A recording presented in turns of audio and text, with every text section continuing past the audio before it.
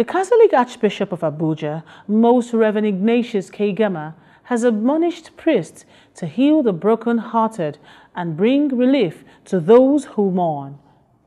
Archbishop Kaigama gave this admonition during the ordination of seven new priests in Abuja.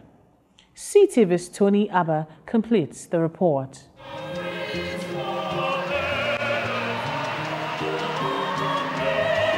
The ordination of seven new priests by the chief shepherd of Abuja Archdiocese, Most Reverend Ignatius Kaigama, was historic in various aspects.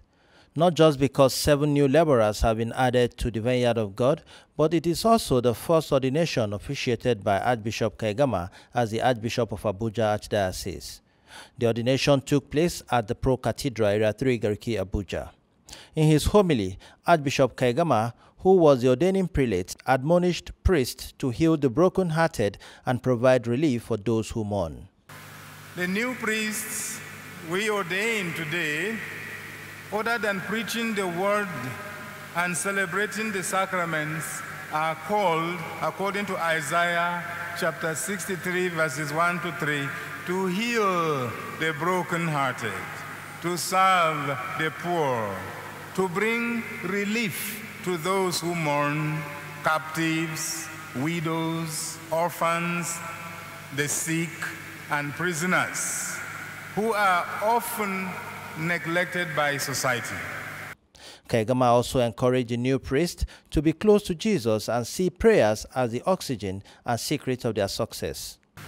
By accepting ordination, they have opted to be very close friends of Jesus and to make more friends for Jesus.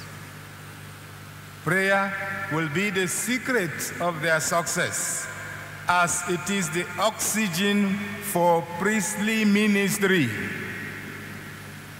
When a priest stops praying or prays without proper interior stillness, he suffers what I call spiritual asphyxiation.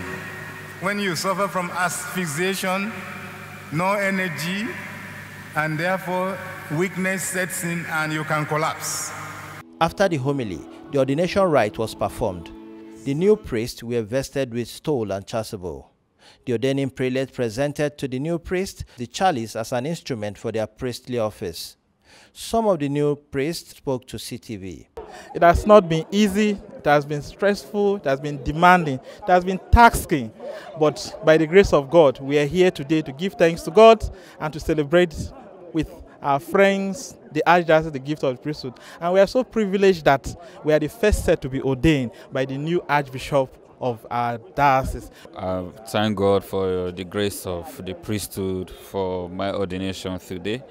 We thank Him for the sustenance He has given us all these years.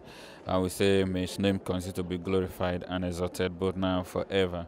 I am so happy today for what the Lord has done. Unworthy as I am, He has chosen me to be His priest and to serve His people. I am so happy. I, words cannot explain how I feel. I am most happy and I'm asking that the Lord will bless all those who have supported me up to this point.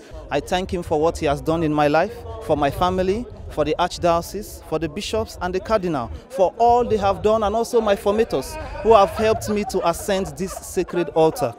And as I have ascended this sacred altar, I pray that God will continue to help me. It's an honor which none of us could have gotten for ourselves. We can only thank God and we pray that God may use us as vessels to draw more people to Himself, not to us, but to Himself, that at the end of this life we may meet Him in His glory.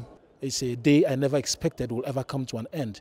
But with this very gesture, with this ceremony, God has made me know that it is actually possible that whatever has a beginning will certainly have an end. Indeed, it's an end, yet the beginning of a new era.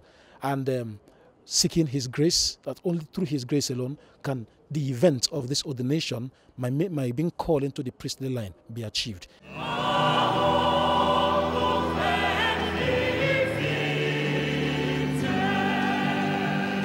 In Abuja, Tony Abba, CTV News.